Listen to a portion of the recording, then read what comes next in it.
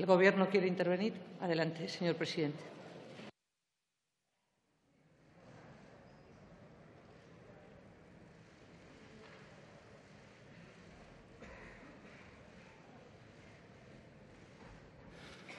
Señor presidente, señoras y señores diputados, eh, eh, lo lamento, señora Montero, pero usted no puede abandonar esta Cámara sin explicarle, por respeto a los diputados, lo que tiene que explicar, cuáles son las razones por las que usted ha planteado en el día de hoy una moción de censura. Yo entiendo que usted utilice palabras gruesas para evitar pasar desapercibida, que es una de sus frases favoritas. En cualquier caso, en el día de hoy no hacía falta que lo hiciera porque, como le dije con anterioridad, pues su intervención va a pasar a los anales de la historia parlamentaria. Pero lo que usted tiene que explicar en esta Cámara es cuáles son las verdaderas razones por las que usted firma una moción de censura que promueve su grupo parlamentario. Ustedes no tenían candidato, intentaron incluso incorporar un candidato independiente. Luego, como he señalado en mi intervención anterior, le ofrecieron al señor Sánchez el puesto de candidato y que asumiera la responsabilidad. Ustedes no tenían apoyos, lo sabían desde el primer momento. Y además ustedes han sido incapaces de explicar qué razones aconsejan censurar a un Gobierno que lleva siete meses en sus responsabilidades como tal. No han explicado las razones por las que censuran a un Gobierno que, insisto, lleva siete meses en sus responsabilidades como tal. Y aunque las tuvieran y las hubieran explicado, cosa que no hicieron, sabían que no iban a conseguir sus objetivos. Entonces, señorías, en esta Cámara tenemos derecho a saber cuáles son las razones por las que ustedes presentan su moción de censura. ¿A qué nos traen hoy aquí? Querían reprochar al Grupo Socialista que no hubiera situado al frente del Gobierno como era justo, razonable y conveniente al señor Iglesias y que mantuvieran, por tanto, a la encarnación de todos los males que es el señor Rajoy al frente de la presidencia del Gobierno? ¿Era ese su objetivo?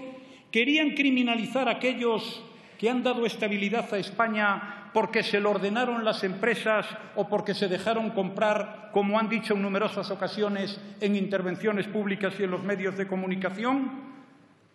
Quizá, señorías, lo que pasó no fue otra cosa. Quizá, como las cosas empezaban a ir mejor, como el horizonte aparece más despejado y como la crisis estaba superando, pues quizá pensaron que todo eso les debilitaba, porque las cosas empezaron a dejar de ir mal.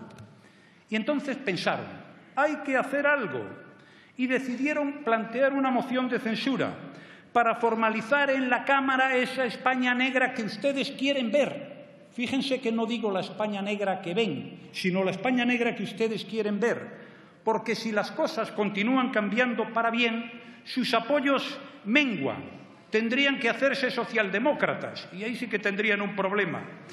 Le pasa a ustedes lo que a aquellos puritanos que eran víctimas atormentantes del miedo a que alguien en algún lugar fuera feliz. Eso es lo que le pasa a ustedes y por eso traen a esta Cámara la moción de censura.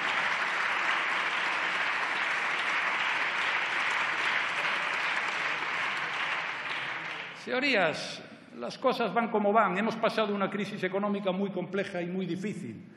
Pero es que no se puede comparar con un mínimo de objetividad.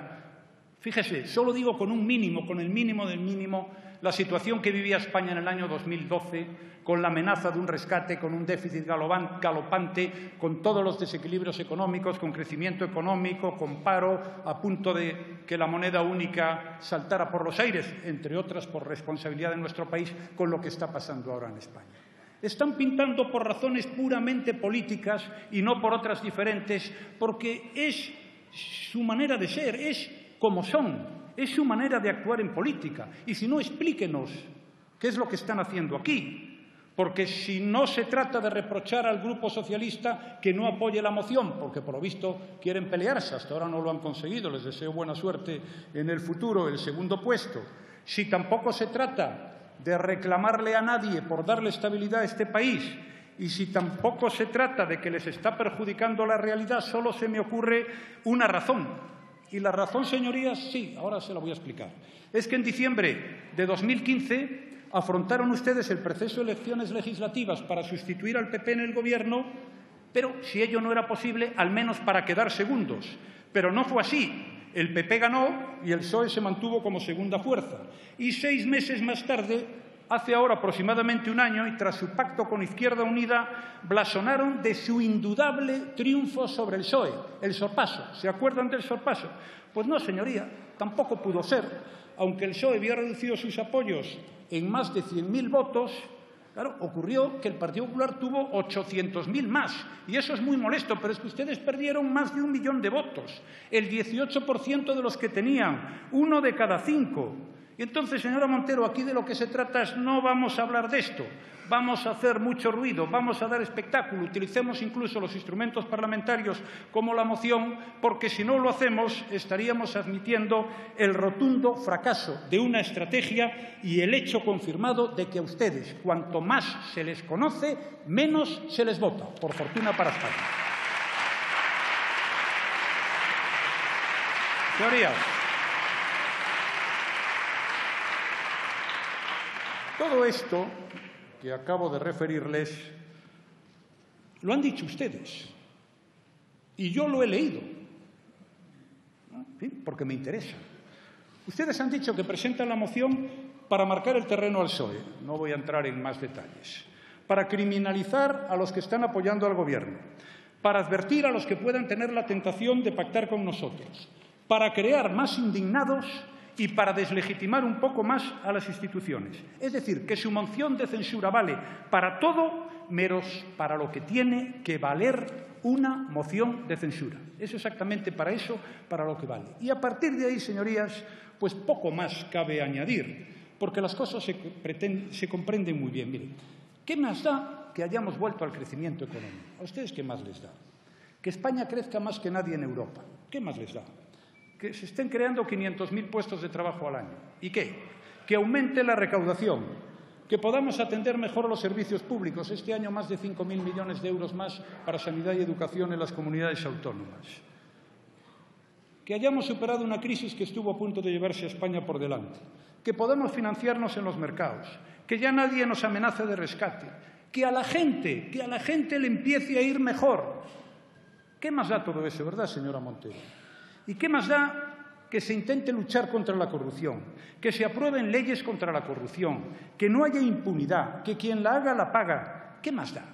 ¿Verdad, señora Montero? ¿Eso a quién le importa? ¿Y qué más da que España sea una democracia occidental? Con un gobierno que cree en el Estado de Derecho, porque yo creo en el Estado de Derecho, señora Montero, y creo en la separación de poderes. Y con un país de libertades. ¿Eso qué más da? ¿Y qué más da que todos tengamos que estar sometidos al imperio de la ley? Y que el Gobierno pueda perder, como usted ha dicho esta mañana, sentencias en nuestro tribunal favorito, el Tribunal Constitucional, al que, por cierto, también acuden ustedes cuando les interesa, y me parece bien, porque es uno de los instrumentos de nuestro Estado de Derecho. Pero a ustedes todo esto no les importa. Mejor dicho, todo esto, que las cosas mejoran, les importa. ¿Y saben por qué? Porque les perjudica les hace mucho daño. Ustedes necesitan que esto no vaya bien, si no, no existen. Y si todo va mejor, pues ¿qué pueden hacer? ¿Ocultar la realidad o falsearla? A medida que las cosas van mejorando, tienen que exagerar cada vez más. Tienen que elevar los hechos concretos a categoría. Tienen que generalizar, que es una de las grandes injusticias que puede cometer un ser humano. Tienen que fabricar un mundo irreal, pero eso sí, malo. Tienen que buscar culpables. Y hay por doquier la casta, la